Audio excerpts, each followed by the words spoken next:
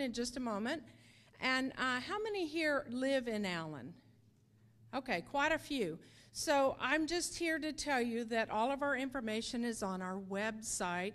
So if you would go to our website at www.cityofallen.org, you can find out all of the information about our watering restrictions, all of the things that we're currently doing in water conservation, the education programs we have, our rebate program, and then also disposal information. If you decide that after you've had this informational session that you know that you've got those roses that are infected we do have a special pickup, and you can find that out on our trash and recycling page. So if you would check that out in Allen. And for those of you that are not from Allen, I welcome you here to the city of Allen and hope you stay and shop and dine and spend the afternoon in Allen. And with that, I'm going to introduce Martha Cavazos Phipps. She's from the city of McKinney, and here she is. Good morning. I'm not used to a podium. I'm used to more casual settings. Um, my name is Martha Cavazos Phipps, and I'm the Environmental Education Coordinator at the City of McKinney. I want you to know that this uh, event was uh, brought about really by four major entities the Collin County Rose Society, Texas A&M AgriLife, the City of Allen, and the City of McKinney. We have been working on this issue for a number of months, and back in January, we had a um, seminar for the industry, for the folks in the horticulture industry, uh, people who were doing landscape, irrigation, that sort of thing. We educated about five, well, nearly 500 people back in January, and there was a real interest to um, relay that information to our residents, and that is the reason we are here today. Um, how many of you are from McKinney? Probably very few, but thank you for making the drive. I appreciate it. Um, if you're a McKinney resident, uh, we had some handouts at the front table. Uh, I, you know, I never miss an opportunity to share our water restrictions uh, and also our environmental programs, disposal, that sort of thing. Uh, the brochure is out in the front. Uh, but for everyone, we do have a calendar of all of our events. Um, um, in addition to events like this one, we have lots of green seminars in the city of McKinney. Um, during the month of April, we're focusing on irrigation efficiency, and we have two wonderful seminars one on April 1 and another one on April 30th uh, that we would love for you to come to McKinney for. Um, my job is to introduce our speaker today, and our speaker today is Claude Graves. And Claude Graves is a native of Dallas. He and his wife Pamela have been growing roses for more than 40 years at their home in Richardson. They currently grow over 200 varieties. Uh, Claude is an American Rose Society Master Rosarian and past chairman of the ARS Old Garden Rose and Shrub Committee. He is current president of the Collin County Rose Society and past president of three other Rose Societies. He has received the ARS South Central District's Silver Medal and the district's Outstanding Consulting Rosarian Award. He is past treasurer and currently an advisor to the board of the Heritage Rose Foundation. Currently, Claude also serves on the board of the American Rose Center and is a curator of the Anne Belovich Rambler Garden at Chambersville Heritage Rose Garden, and he is the rose consultant for the Dallas Arboretum. Those are a lot of credentials. Um, Claude is challenged, has, has challenged the Collin County Rose Society to start proactive public education effort to combat rose rosette disease. That challenge has rapidly grown to become the Rose Rosette Eradication Alliance, which is uh, the four entities that are working together to bring this information to the world. Um, I, uh, as we get started, I ask that you hold your questions till the end. Um, this is actually being recorded, so if you'll hold your questions till the end, we're going to go around with a mic so that um, that question is heard um, in our recording and uh, preserved forever so that everybody can have it. With that, I will turn it over to Claude. Clap!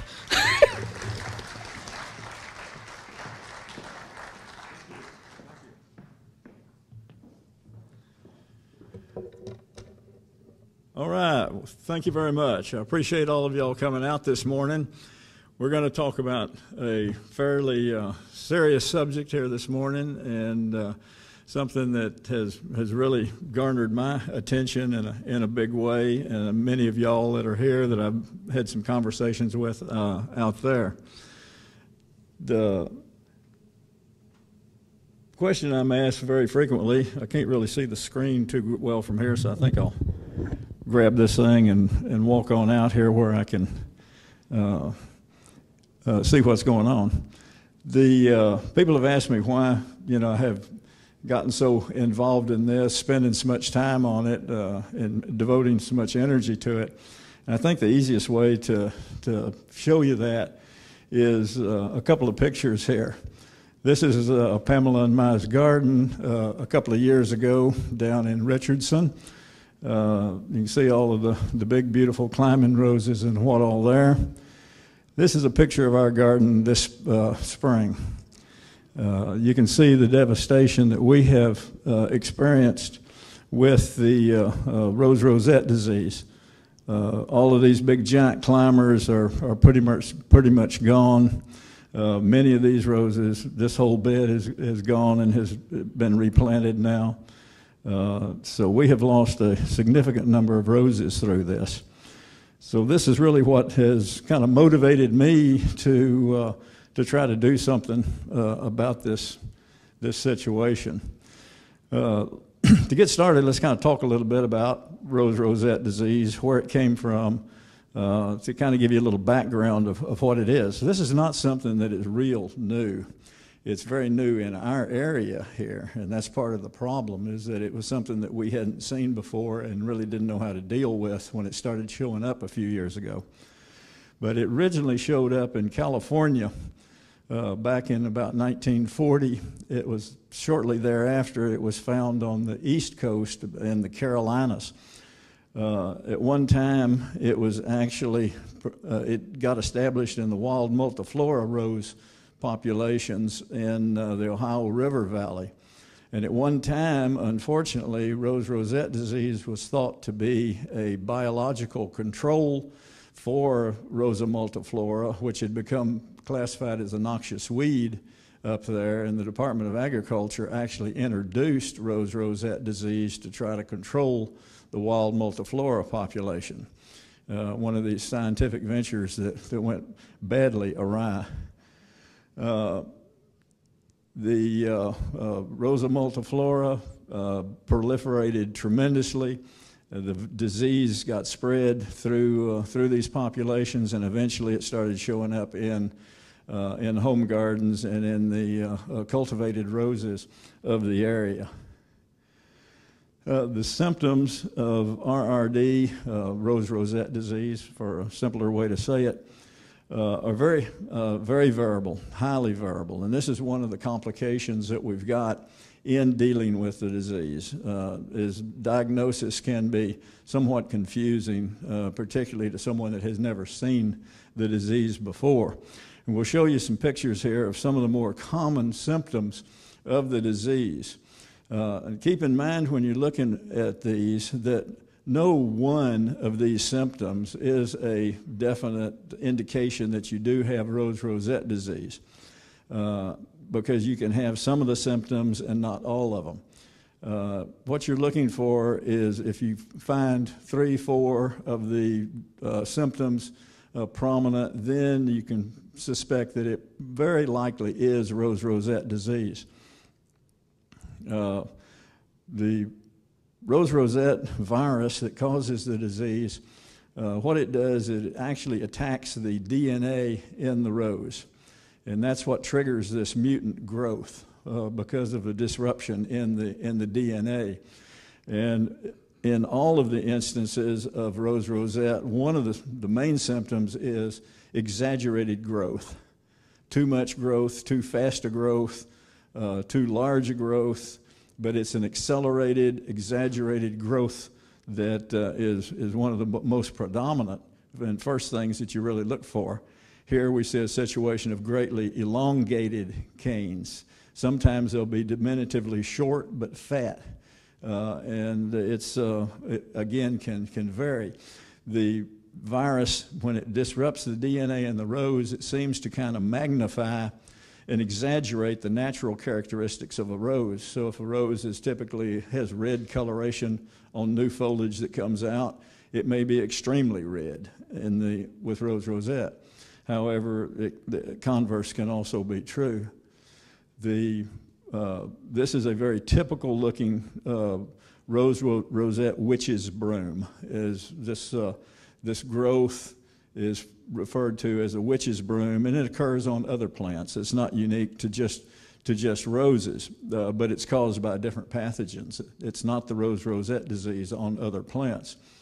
Uh, but t- this is a very t- this is on a knockout rose, which is where we see most of the disease. It's not really that much of a knock on uh, on knockout, pardon the, the pun, but the uh, uh, knockout roses are just uh, the majority of the roses out there. They're just there are probably ten knockouts to every one uh, other variety of rose in the landscape. So you would expect to see it more in the knockouts because there's simply more of them. Plus, unfortunately, the landscape architects started planting these roses when they discovered them on uh, very close centers, trying to get instant gratification of an immediate beautiful hedge uh, in a very short period of time, they planted them much too close together, which just promoted spreading the disease like a wildfire through a planting of the, of the roses. Uh, the, uh, the leaves in the witch's broom are, will typically be smaller, uh, distorted, and they may have uh, the conspicuous red coloration. But the red coloration is not a definitive uh, symptom of rose rosette disease. Here is an example of a rose rosette witch's broom that is absolutely totally green with no red whatsoever in it. So don't rely on the red coloration as uh, your keystone uh, for trying to identify rose rosette disease. Uh, the canes on some uh, cultivars uh, will, will develop excessive growth and soft, pliable uh, prickles. You can see in this picture here uh, the prickles on this cane, the exaggerated large prickles that uh, are extremely soft. You cannot actually uh, uh, punch your finger or, or, prick your finger on these. If you try, if you put your finger against them, they'll be very soft. At least on the very initial new growth. As the if the broom is allowed to remain there, uh, those will harden off eventually uh, and can become uh, very, very hard and stiff, as you see on this cane here. So they, they will harden off in a period of time. Uh, the new canes uh, can be uh, pretty much thornless. We saw that previous example with all the thorns on it. Here is a pretty much totally thornless example of rose rosette. Uh, in this one, you will notice some of the red foliage and the uh, deformed uh, foliage. Uh, rose rosette disease can mimic uh, herbicide damage. In this case, uh, you see we're getting a, a, a growth here of a new growth of small little tufts of, of foliage. This is very typical of what you might see in herbicide damage. But uh, in this case, uh, this was a confirmed case of rose rosette disease. But it, and uh, actually, the first real serious incident I had in my garden, I misdiagnosed it as herbicide damage uh, because I had used a herbicide around that particular plant not too uh, much before that. And uh, so I actually misdiagnosed it at first uh, myself on that. So it can, it can certainly happen. Uh, symptomatic canes uh, will typically be larger than the cane that they grow off of. This is a phenomenon that is a pretty good indicator of rose rosette disease. You'll see this cane here is much larger than the cane it's growing off. Here's the cane it's growing off of, and this new cane is larger. You've got the same thing happening up here on, on these canes. This is very common and very typical because of the exaggerated growth of the, from the disturbed uh, RN, uh, RNA. The uh, uh, growth can uh, will, will be larger uh, very often. it also can be an excessive amount of growth coming out of one growth point. In this case, we've got multiple canes coming off this one cane here, all at one point. this is a pretty much a sure sign of rose rosette disease. In fact, this is actually where the disease gets its name from rosette, rosette being a, a round spiral uh, growth or floret type growth uh, of canes, uh, and that's because of this pattern here. That's, that's actually how Rose Rosette was, was originally named. Uh, the flowers uh, will be uh, distorted if, it, if the bush does bloom. The flowers can be very distorted and uh, not very beautiful. One of the things that it always confuses me is why people insist on leaving these plants in the garden because they really become quite ugly when they're completely infested with the disease. And why anybody would want to leave that in their garden is beyond me, but uh, it's terrifying how many people will leave them in their gardens. Uh, the flowers, uh, again, would be distorted. Uh, this uh, pitiful looking thing here is actually a beautiful hybrid tea rose called Hot Princess. Uh, normally, that should be a huge, big bloom up here instead of this little demented uh, thing here. You can see the excessive uh, prickles on that, that particular shot. And the buds can be deformed. And in many cases, this is a, an Earth-Kind rose called Belinda's Dream. Uh, it will actually convert the buds into leaf like tissue. So instead of having a flower bud there, you'll have this little cluster of leaf like tissue instead of, a, instead of a bloom. So that's kind of what, the, what we're dealing with as far as what it looks like. And uh, let's talk about what the problem actually is, what we're dealing with to try to get this under control. Uh, Rose Rosette has reached uh, absolutely epidemic proportions in the North Texas area. Uh, it's been around for years in other parts of the country, as we talked about earlier. The problem that we had in this area was that we had a perfect storm of conditions that created the, the nightmare that we've got now. Uh, primarily uh, was the fact that it had not been a disease we had to deal with in this part of the country. Nobody recognized it. Nobody knew what it was. Gardeners had no clue as to what this stuff was when it started showing up on their plants.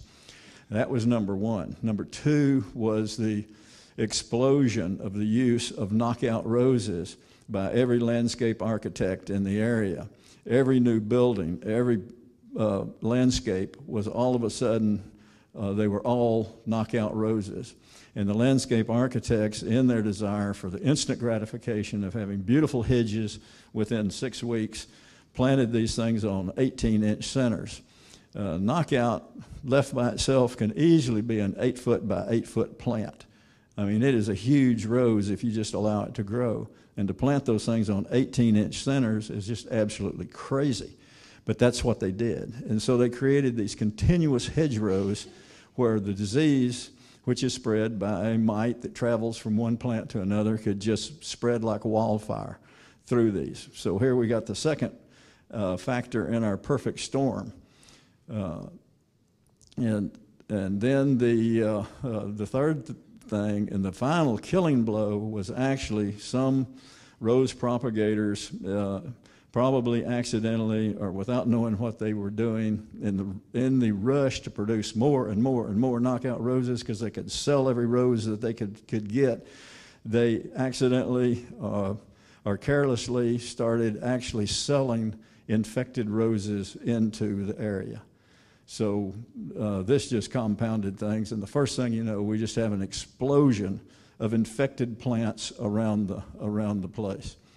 Uh, the, so this is the problem we're dealing with. We have this huge reservoir of infected roses at every big box store, uh, around every bank, every service station, what have you. Uh, everywhere you look, they're knockout roses, and everywhere you look, those roses are infected with rose rosette disease. The big problem with that is that this uh, disease is spread by a tiny mite, and that mite uh, blows in the wind from one rose to another. So, an infected rose out there is a little typhoid Mary that's just spreading the disease to, uh, to all of uh, its neighbors and neighbors miles away because these things can blow for miles in the wind. From a practical standpoint, we will never completely be rid of rose rosette disease again. But we can get it down to a level perhaps where we can grow roses again on a managed basis. They grow lots of roses in the, uh, in the Carolinas and in the areas that have been dealing with rose rosette disease for 60, 70 years now. They have learned to manage it. The people know what it is. When they see it, they take it out and get rid of it. It's a nuisance to them. It's not a disaster uh, or a plague like it is in our area here. Uh, so, not until we significantly reduce the number of infected plants can we hope to be able to grow roses in the future. Uh, and I'll go so far as to say that if we don't get control of this, it's just going to be impossible to grow roses in the Dallas Fort Worth area in the future. Uh, but on the other hand, it is a, a problem that can be cured. But the way we're going to have to cure it is by getting rid of this huge inventory of infected roses that we've got out there right now. Uh, this was part of a slide presentation more about when we did this for the commercial rose industry, and we got a tremendous response. Uh, reference was made earlier to the meeting we had on January 21st, which is aimed at the commercial landscape industry. And we had well over 400 people attend that meeting. Uh, and a big percentage of them were commercial landscapers, uh, landscape maintenance people, uh, landscape architects, uh, attended that meeting. So there is a there is a, a, desire and an interest in the in the commercial community to try to start doing something about this problem. Unfortunately, there are also economic considerations on ripping out hundreds of roses from landscapes, and these are going to have to be dealt with.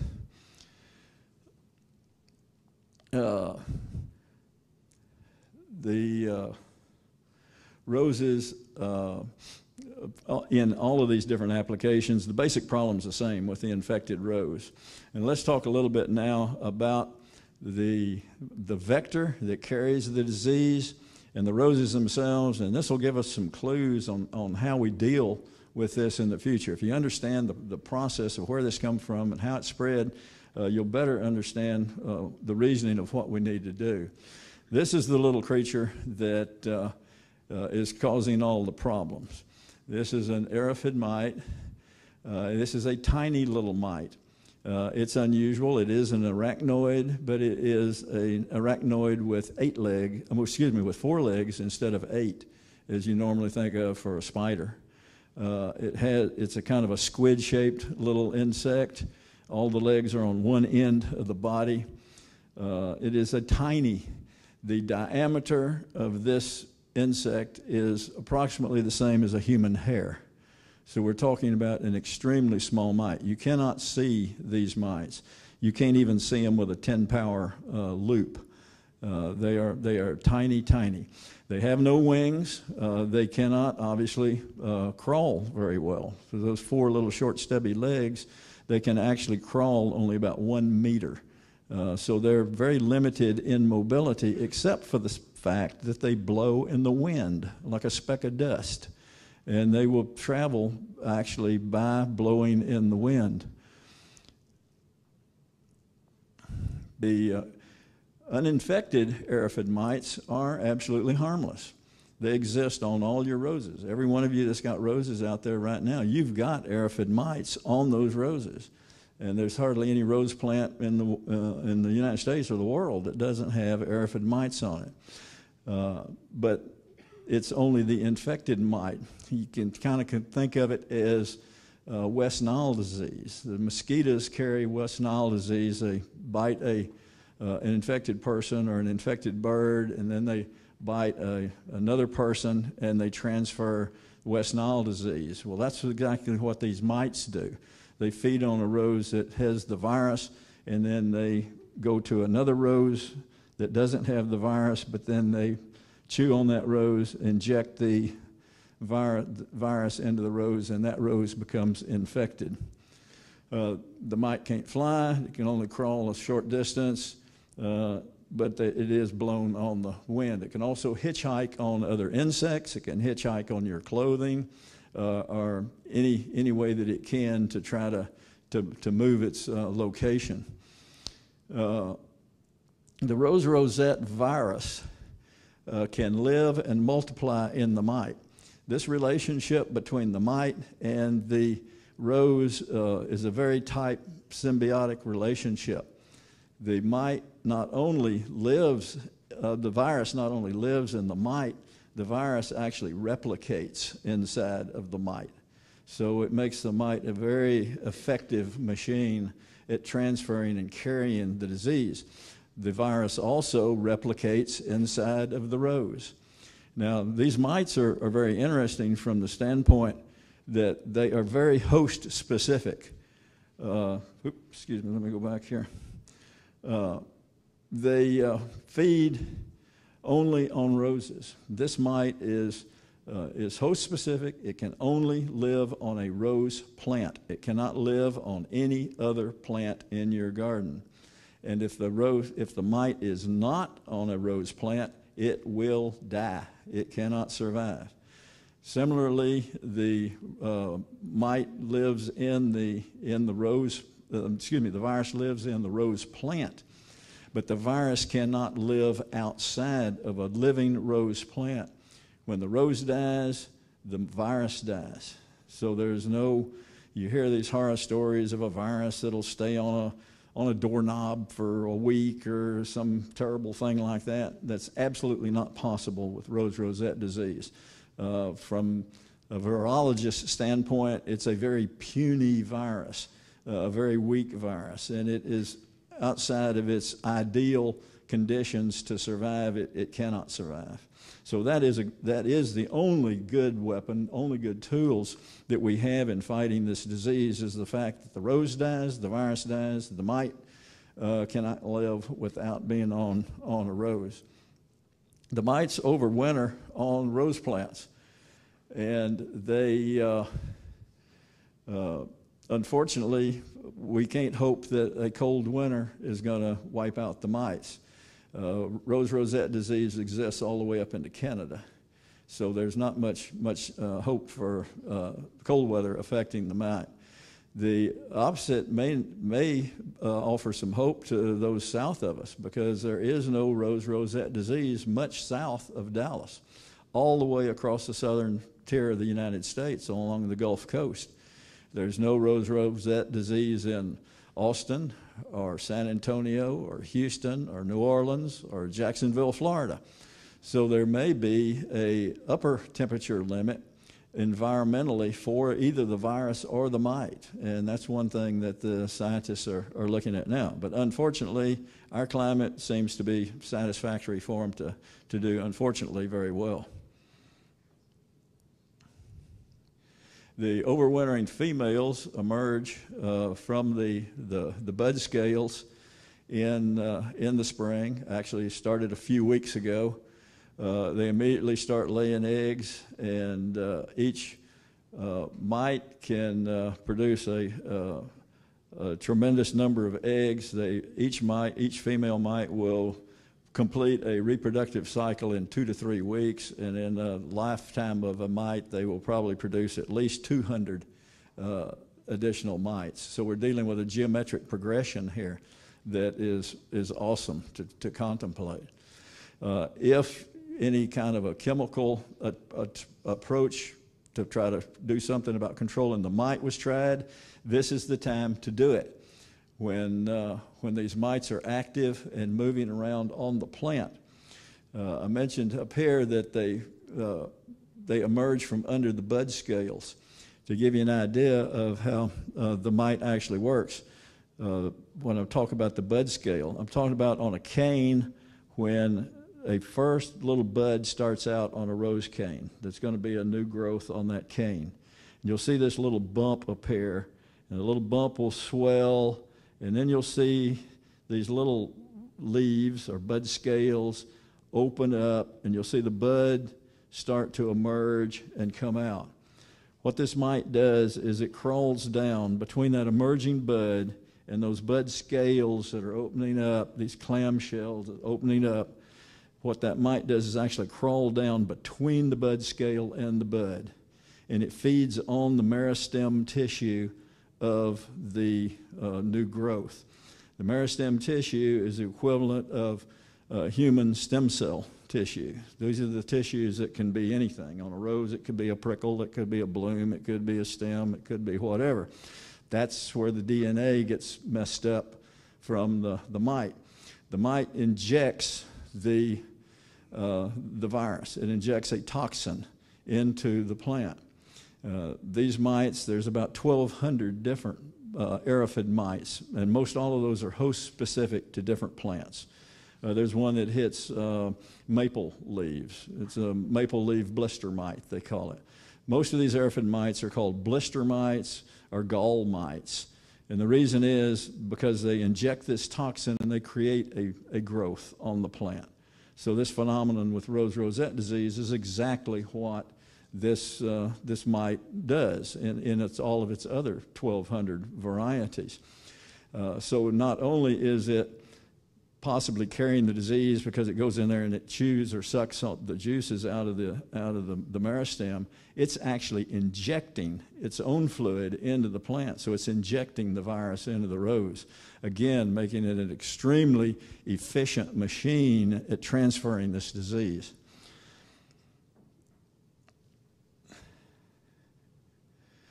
Uh, let's talk a little bit about the roses. Uh, there is no rose that is proven to be resistant to rose rosette disease. Uh, we think that there may be a few. The scientist Dr. David Byrne down at uh, Texas A&M recently received a three and a half million dollar grant from the U.S. Department of Agriculture to study rose rosette disease. Uh, they think we're hoping that we might can find some roses that are naturally resistant to rose rosette disease. Uh, the plan would be he's a Dr. Byrne is a rose breeder.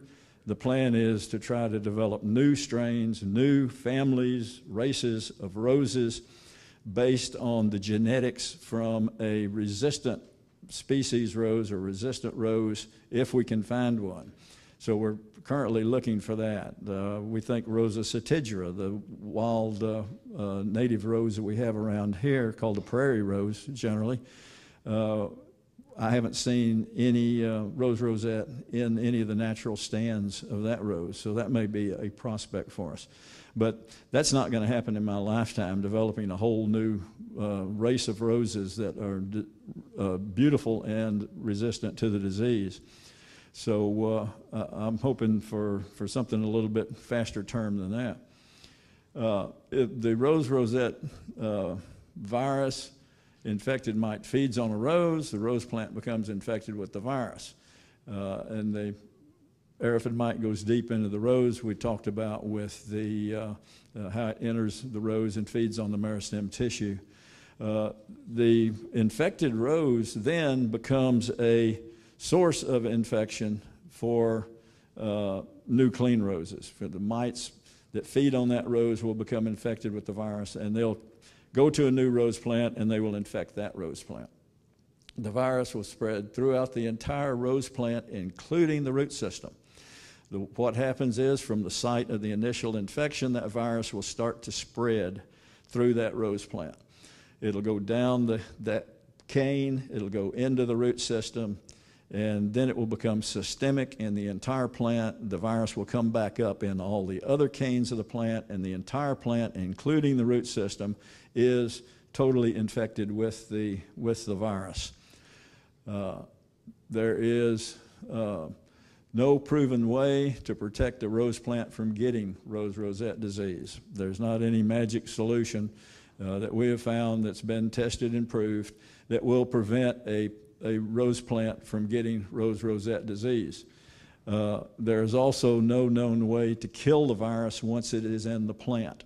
There's no uh, spray or drench or anything that is proven to actually kill the virus once it is in the plant. And there are many other rose viruses that we've been living with for years. Rose mosaic virus has been with us for years. It gives you a distorted color pattern on the leaves. Uh, they've been trying for years to find a way to eliminate that, and, and they can't do it. Just like they have such a difficult time dealing with viruses in the human body.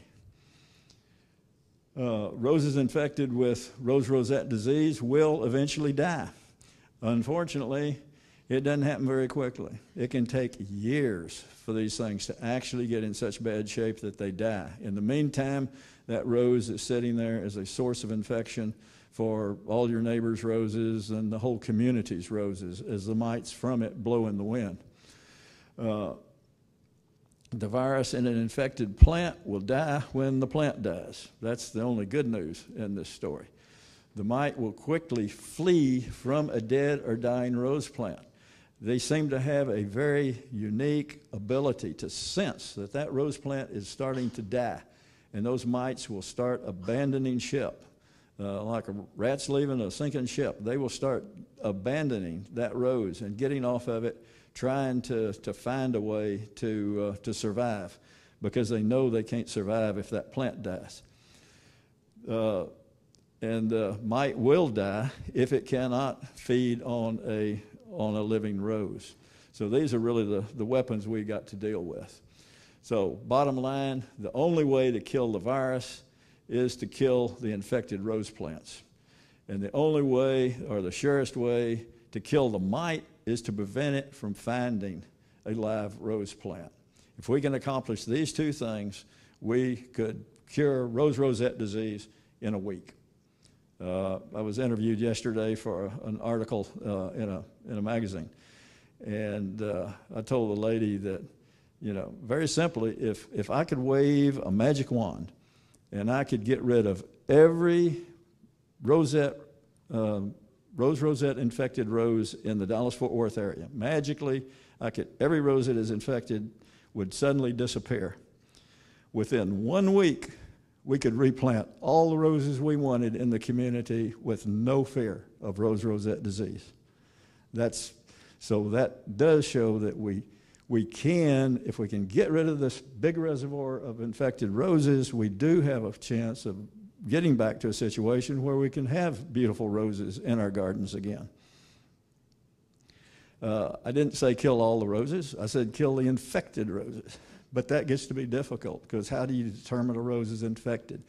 And this is some of the things that the scientists are working on now is one, their, their most immediate pressing thing right now is to come up with a quick field test to actually determine if a rose has rose rosette disease uh, on the spot in the field. Right now, there's a lengthy laboratory test to, to confirm rose rosette disease, and by that by the, the two weeks or so that it takes to get a test result back, uh, if it's an infected rose, it's done a serious amount of damage.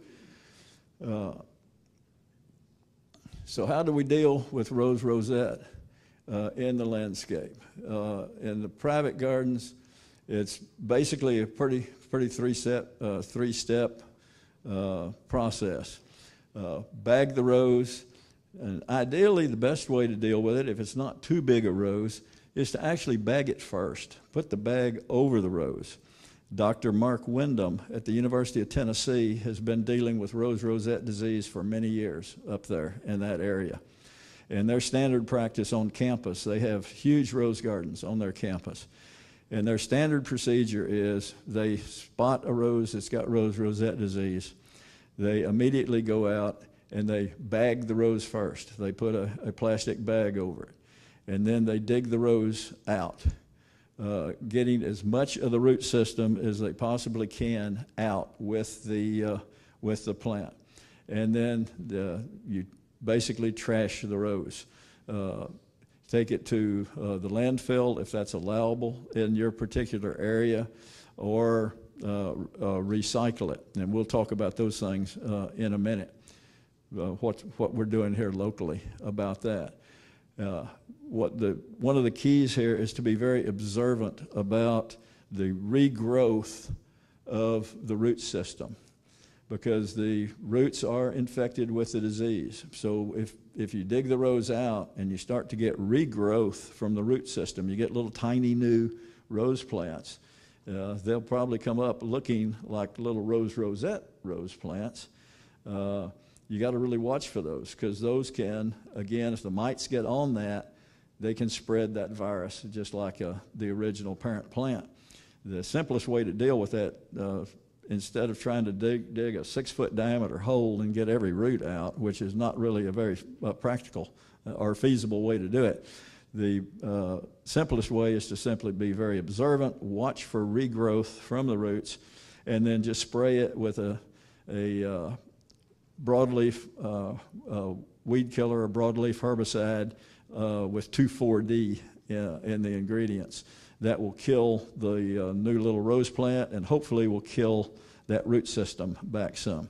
One thing we have noticed is that because of the ability of the distorted DNA in a, uh, in a rose to create this excessive mutant growth, we see more regrowth from the roots of infected roses than you would from a normal rose. It seems like the, this urge to produce this explosive growth will actually cause those root systems to, to try to, uh, to send up new growth more so than you would get from just a normal rose.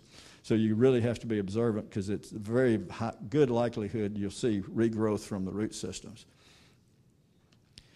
Uh, disposal for the, the homeowners, the, the cities of Allen, uh, Frisco, McKinney, Plano, and Richardson, basically the North Texas Water District area up here. Uh, all of those, all of their uh, uh, recycle materials and all their trash materials are handled by Texas Pure Products. And uh, we have had conversations with them, and uh, they have become convinced now that it is safe to take infected roses into, the, uh, into their recycle program. Because of the fact that the virus dies when the rose dies and the mite can't survive if it's not on a live rose, there is very little possibility of the disease being spread through uh, even fresh ground mulch. If it's been there a week before it's reused, uh, the chances are just nil that there's any live virus or live mites uh, left in it. Uh, we don't recommend that you put the, uh, d- the roses in your, uh, in your home compost pile, basically because you want to get that material off of your property as soon as you can. Uh, the, uh, the, if you take it over and haul it and put it in your recycle pile, it is still going to have mites on it. Those mites could still blow or get transferred from the from it before the rose completely dies to other plants. So it's really advisable to either put it in the recycle bag or to put it in the, the trash bag going to the landfill. And we strongly suggest that you uh, uh, talk with your city about the, uh, uh the method of, of disposal that they allow in their, with their particular ordinances for their particular city. Uh, and you can take it up to if, if you're doing it yourself and haul it up there you can take it to the transfer station the court road transfer station. You know, this is a disclaimer that texas pure products has asked us to, uh, to show basically that they've been reassured by uh, dr zanatakis myself and others with agrilife uh, that there uh, should be no problem in using the recycled roses for, for making mulch for the reasons that we've already discussed. Uh, one of the big misconceptions with uh, rose rosette disease has to do with being able to replant in the, in the area where the rose was taken out. And it is totally acceptable to be able to replant uh, roses uh, in, the, in the same hole or any other plant.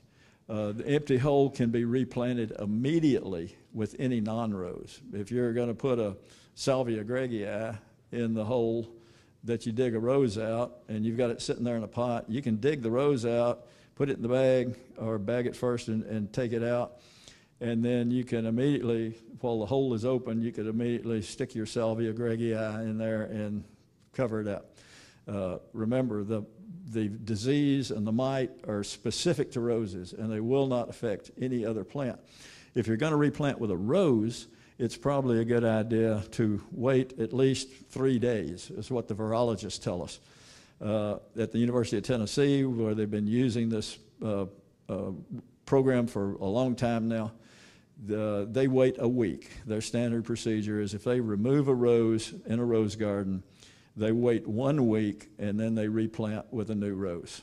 Uh, and there's no, no possibility that the new rose is going to uh, become infected from anything left over from the, from the old rose there. There is no contamination of the soil. There's nothing, absolutely nothing in the soil uh, to, to worry about. Uh, chemical controls. There is no uh, proven product that will kill the virus. So we've already discussed that. There are miticides that are labeled to control the aphid mite. Uh, some of us that grow a lot of roses and are real serious about it, we do try to spray routinely with a, a miticide that is labeled for aphid mites. Not just any miticide uh, is effective. There are a lot of miticides for spider mites that are not effective on the aphid mite. Remember, they're two very different things. Uh, but there are some that are that are for uh, mites, and uh, that is a, a, possibility. At the Dallas Arboretum, for instance, we do spray to try to protect those those roses down there as best we can. There is no proof, there's no study been done that spraying will uh, help prevent the roses from getting rose rosette disease. We're not trying to control the virus, we're trying to control the mite. But there's also no proof that it won't do any good. So, uh, error on the, on the side of trying to be as cautious as possible. Uh, a lot of people are spraying with it. You can also spray with horticultural oils and soaps um, for a more natural uh, way of dealing with the problem. The mites are uh, vulnerable right now while the, the active growth cycle is happening. The new mites are hatching out. They're crawling around on the plant, getting ready to uh, throw themselves off into the wind to blow somewhere. These are the times they're vulnerable. Once they get burrowed in between that bud scale, uh, it's pretty hard to get anything to them. A, a systemic fungi, uh, or insecticide would kill them, but by that point, they've already infected the rose, and it's too late anyway. Uh, so if you were going to do anything like that, this is the time to apply it uh, right now while the, while the roses are, are really budding out. And soaps and oils are probably as effective as any of these much higher priced uh, uh chemicals. We use a, uh, an oil, a dormant oil, a very light horticultural oil program up at Chambersville to control the, the mites up there also basically what I just said. There's no chemical controls uh, that are known to, uh, uh, to control the, the mites. Uh, there are some municipal gardens in the area that are continuing to grow roses. Uh, one of the outstanding examples is Farmers Branch, who has a tremendous number of rose gardens. Their director of landscapes down there, Pam Smith, has done a, a, wonderful job. They follow a approach, an approach similar to what Dr. Windham does in Tennessee, where they watch vigilantly for any new sign of an infection in their garden. That rose is immediately jerked out and removed, uh, and then roses are replanted uh, in, after a short waiting period. And they are managing to, to keep beautiful gardens down there. In fact, they've got uh, a David Austin test garden for officially for David Austin roses in England. They have uh, a new American garden rose uh, test garden and uh, uh, a miniature rose test garden that are still in operation there, even with the pressure, pressure that we've got from rose rosette disease. So you can continue to grow roses around us. For more information on uh, rose rosette disease, we have a lot of information posted at our website at the Collin County Rose Society. Uh, and we also have a table set up outside the door here if you'd like to pick up some more information.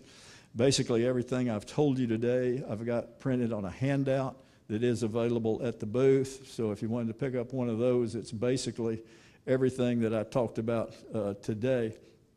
Uh, and we do have these little door hangers available out there that you're welcome to take and uh, to give to your neighbors or to your bank or to the Walmart manager or wherever. Uh, this is the two sides of the little door hanger, basically in very brief, concise terms, telling you what I've spent the last hour talking about, and uh, uh, gives them the story on rose rosette disease and why they need to do something about it. Uh, But all is not doom and gloom. Uh, Like I mentioned, some of us are still growing roses. Uh, We invite you to, to come see. Roses still being grown successfully in the area. The Collin County Rose Society has a garden tour on April the 26th, uh, Sunday afternoon from 5 to 1 o'clock. You can get more information about it on the Collin County Rose Society website. It's free, uh, no charge whatsoever. You can come to my garden, you can see what's left of my garden and what I'm doing to rebuild it and reconstruct it, and I'll be happy to, to spend some time and talk to you about how I am managing it in my garden, techniques that, that I'm using to try to, to deal with the disease. Uh, also, we have the premier rose event in, the, in all of North Texas coming up up at Chambersville, which is uh, just 15 miles or so north of us from where we are right now, up just north of McKinney. Uh, the Chambersville Heritage Rose Garden. We have an event called Rose Dango. We have a, uh, uh, a garden we just planted uh, 18 months ago called the Ann Belovich Rambler Garden. This garden will build out to be the largest collection of once blooming rambling roses in the world, period, anywhere. We currently have 150 roses in the ground. I've got another 100 roses or so that are being grown out to get large enough to put in the ground.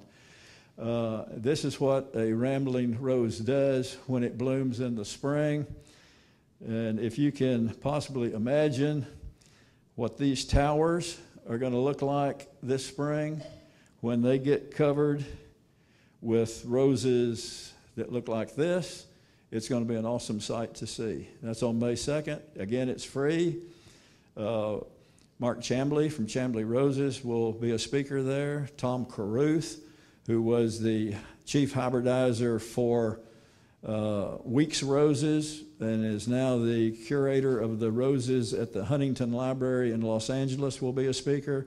And Pam Smith, who is the landscape manager at Farmers Branch that is doing the wonderful job of growing roses now in Farmers Branch will be there. So it, there'll be a lot of information there about how people are managing this problem. So uh, with that, that kind of winds up what I've got, and I'll be happy to take any questions that anybody's got. I can't have done that good a job of explaining it. There's got to be some question. Oh, excuse me, excuse me. Let, let's get a microphone down here, and you can.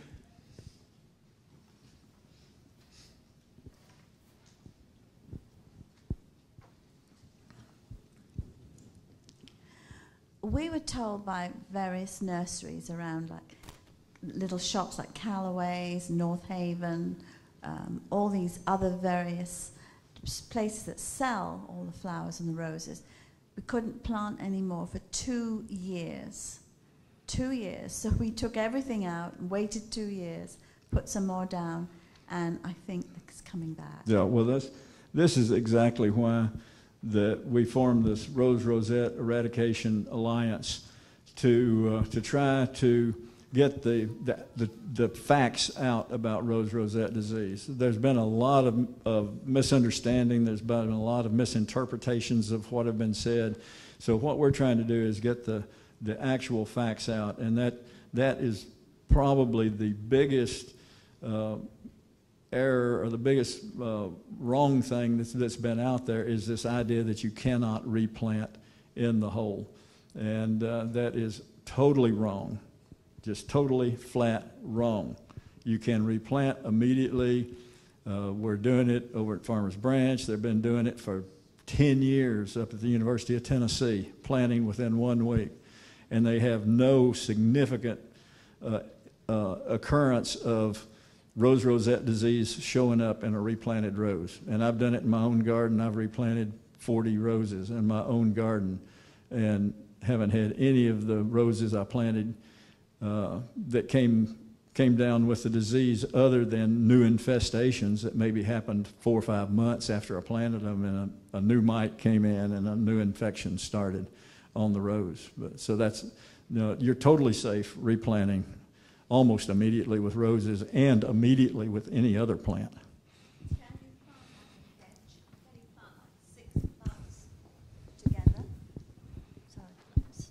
can you plant like five or six rose rosette, um, not rose, knockout roses? Could you plant them like a hedge with no. three feet between them or five feet? Uh, it's, it is very advisable to leave a, a space between every plant. Uh, the, the mites cannot fly, but they can crawl. And they will crawl from one bush to another bush. If the, if the canes are actually touching, I guarantee you they will crawl because there are thousands of these mites out there, and they will crawl across bridges from one rose plant to another rose plant. This is how we got the extreme rapid uh, ex- spread of the disease in these uh, commercial plantings of knockout roses because they were planted too close together, and if one plant got infest, infested, then it just started spreading both directions down the down the row, and it doesn't care which way the wind's blowing when it's uh, when it's crawling on the plant. So no, that it's always a good idea. It's always a good idea on roses anyway, just for air circulation and to prevent the normal diseases that we deal with, black spot and downy mildew and those things. It's al- always advisable to have as as much space as you possibly can. Uh, I'm a great one to talk about it. You saw a picture of my garden where the roses are all on top of each other. So, uh, you know, we don't always do what really needs to be done, but try not to. Uh, in the replanting I'm doing now, I'm certainly trying to space my roses further apart and uh, lessen the odds that I'm going to have a, the disease spreading like crazy through the garden. Yes, over here.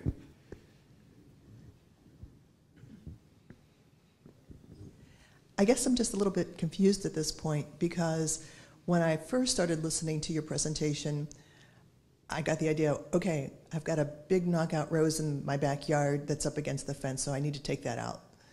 But then I'm hearing that, well, I could take it out and then I could put one back in a week later, it'll be okay, but won't it?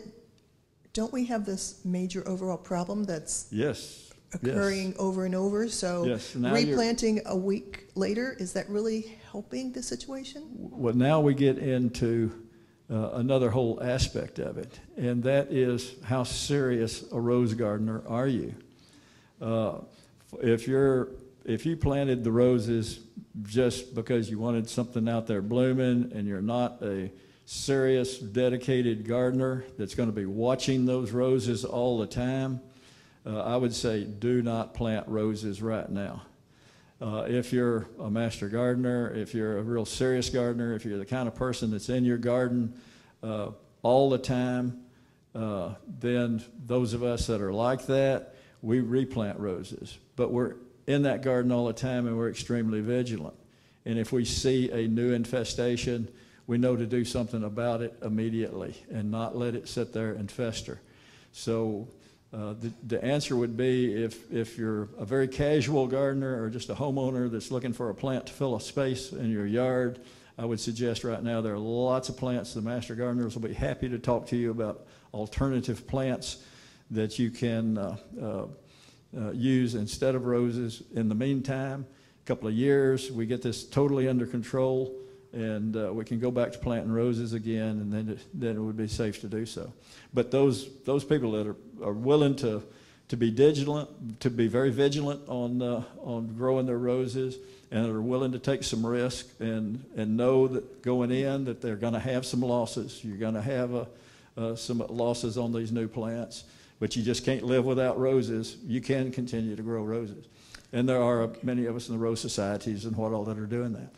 Okay, since I fell in the latter part, so what I probably need to do is take a look at my um, knockout rose, which, by the way, they said was one of the best for resisting disease. So, but I'll look at that, and then if it the condition is is as you've described here, then I should dig it out, bag it, recycle it, and then replace it with something else that's not going to be similar to a rose. That that would be that would be advisable. I know If, my if you plan. don't want the hassle and not willing to take the risk, yeah, don't don't replant with roses right now.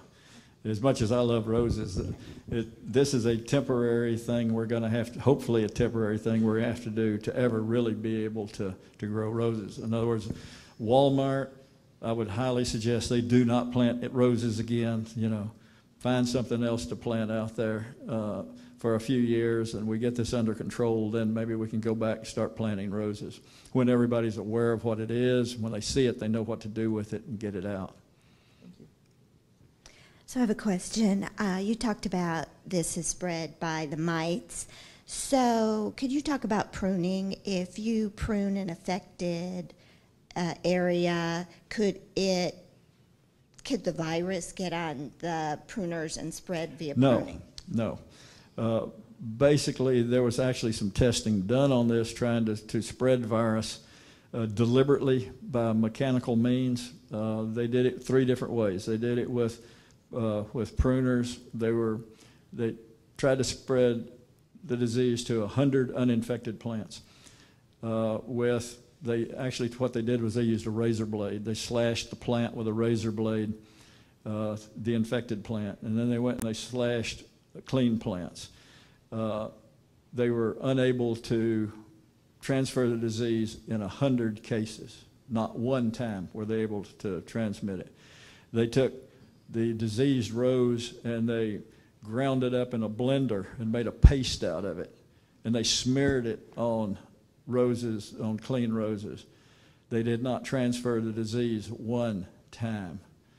They took a hypodermic needle and stuck it into infected roses, and they stuck the hypodermic needle into 100 uh, additional clean roses. They transferred the disease one time. So there's very little likelihood that you're going to transfer the disease uh, uh, uh, mechanically like that. If you are concerned about it, the virologist that discovered the rose rosette virus and that named it tells me that the most effective thing to wipe your pruners with between cuts is milk.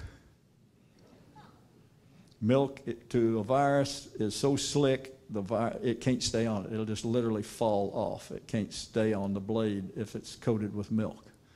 So, but now don't don't get me wrong, because there are bacterial diseases that can be spread very easily with pruners. Crown gall and things like that can be spread in a heartbeat with pruners. So, cleaning the pruners is a good horticultural practice anyway, not just because of spreading the, the rose rosette disease, but for other diseases that you might, might spread. To clean them with? Just a, a very mild bleach solution or alcohol. The, the bleach solution can be very corrosive to the, to the pruners. Alcohol would be much better, just a 70% alcohol. Or you can actually just use the, the, the little uh, disinfectant wipes that you buy in the, in the can at the grocery store. Uh, those little disinfectant wipes will be very effective at, with bacteria and, and viruses and whatnot.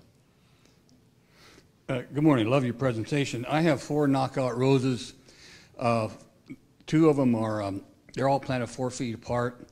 Uh, Two of them are from a nursery, they're four foot wide, five foot high. The other two from a box store, they're three by five. And the two um, from the box stores, they are infected. I noticed it last fall. I don't see inf- any infestation on the other two. Do you suggest I take out all four? I would just take out the, the two infected roses right now and then watch the other ones like a hawk to see if you see anything show up on them. If you do, get them out. But for right now, I would just pull the, the two infected roses. Are they, are they actually touching each other or are they in different locations? Started uh, last fall, starting to get, oh, about a couple of inches apart. Yeah, uh, you, you might try just removing the two infect, that you know are infected and, and then put the, put the other ones on a watch list where you at least once a week go out there and, and take a look at them and a close look all the way around the plant to, to see if, uh, if you're getting uh, any new infection showing up. Um, if you do decide to replant roses, are can you recommend one source over another? Uh, I mean, how do you make sure that you're not buying roses that are already infected? Well, that problem, that problem has pretty well been completely taken care of. I don't think you have to worry about anybody selling uh, uh, infected roses anymore. Uh, once, once the problem was identified, uh, Conard-Pyle Star Roses owns the rights to knockout roses. And what, when they found out what was happening, they immediately shut down the licenses for anyone to reproduce knockout roses. They canceled every license they had granted to produce knockout roses. And they established two growers, one on the East Coast and one on the West Coast. And those are the only people that are allowed to do original propagation of knockout roses.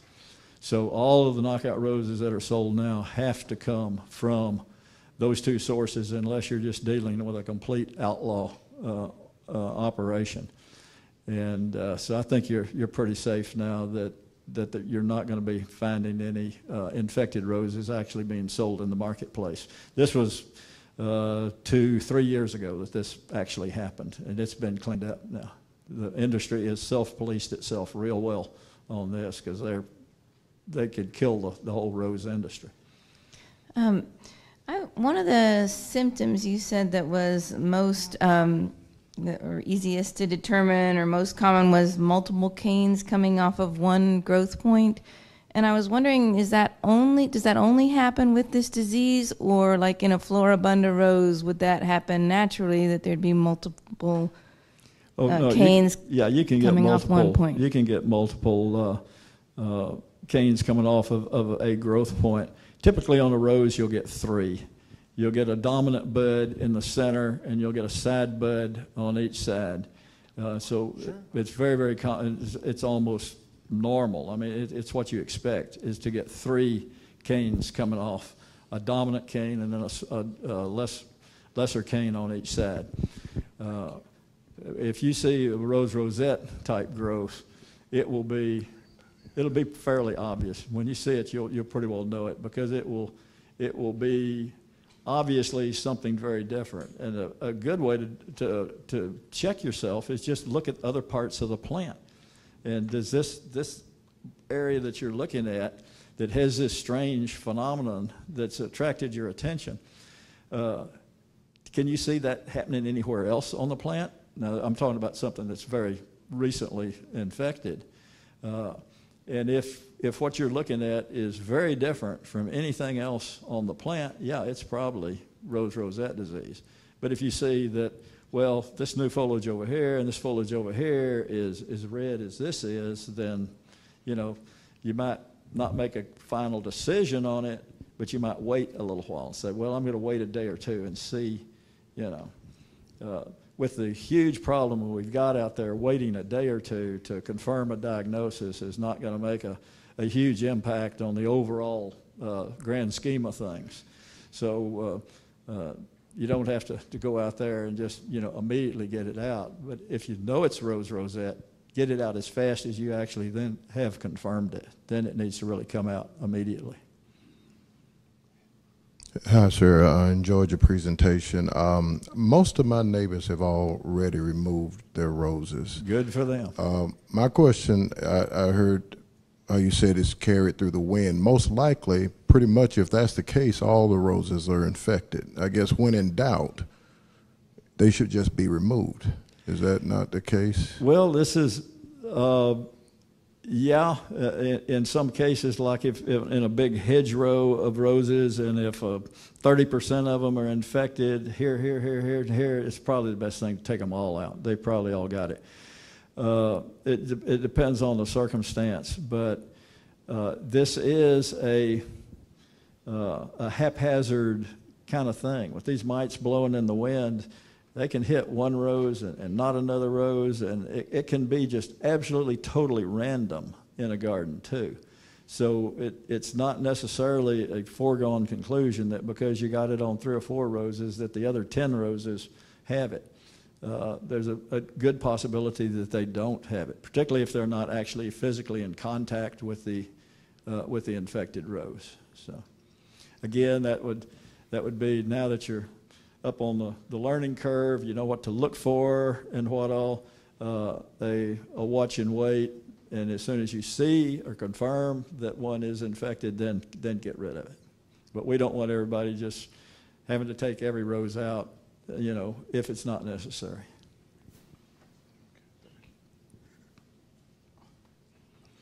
We got one over here, Bruce.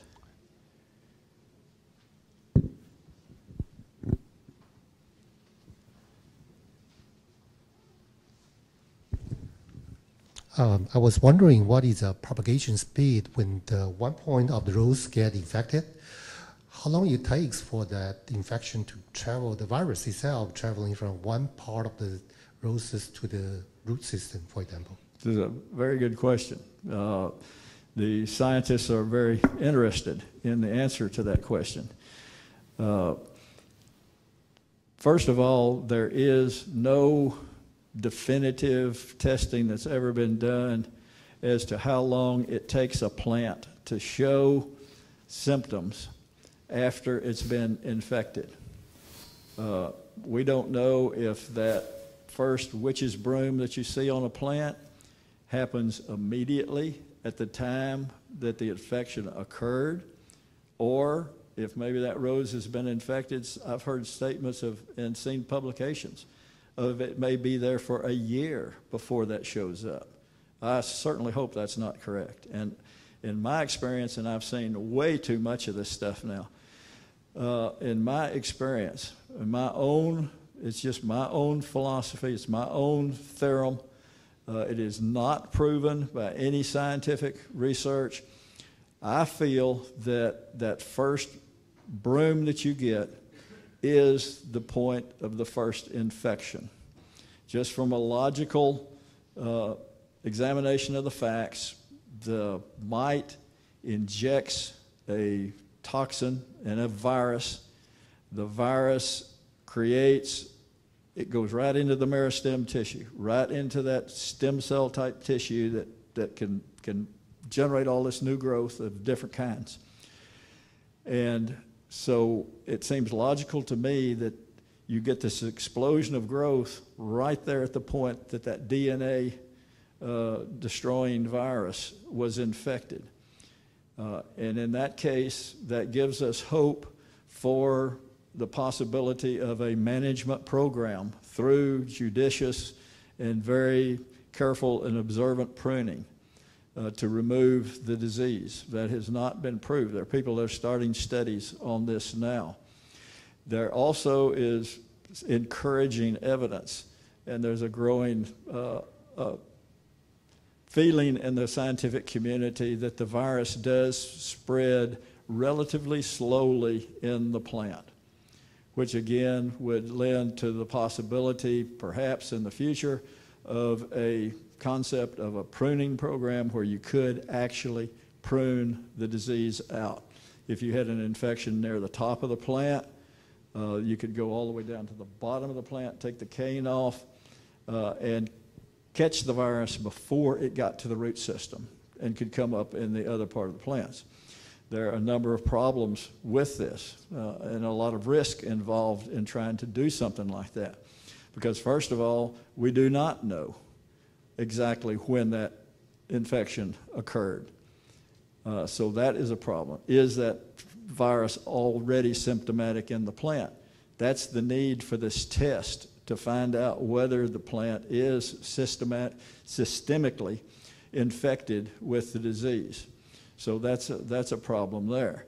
Uh, also, uh, we really don't know how fast that, uh, that virus uh, can travel.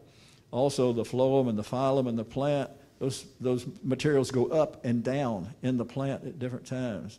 Is, is it all going down at that particular time, or is it a lot of it going up? So, so which way is, would the virus be, be spreading? There's just a whole lot of unanswered questions. There is a paper uh, published by the University of Alabama a number of years ago that claims that they uh, uh, would get 50 percent uh, save 50% of the roses with a pruning program that cut the cane out immediately on the first sign of it showing up. And that's the other thing. How long has that infection been there? If you're sure it's in the first day or two, there might be some chance of, uh, of getting that infection out of the plant first. But it, that requires a tremendous amount of vigilance on your part to catch it in the first two or three days when it first shows up. And this stuff grows fast. Uh, but if, you know, catch it teeny little bitty, you know, there's a, there's a possibility. But you're really taking a risk. You're, you're gambling. You really don't know. You're, you're gambling, and, and even the University of Alabama says it's 50 50 whether you can save the rose or not.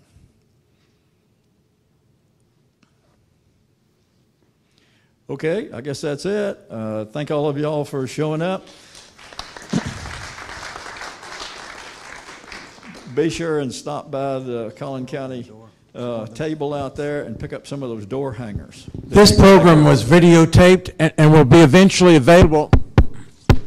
This, this program was videotaped and will be available uh, uh, for, re, for rebroadcast at some point in the future. So if you didn't get anything, you can watch the tape.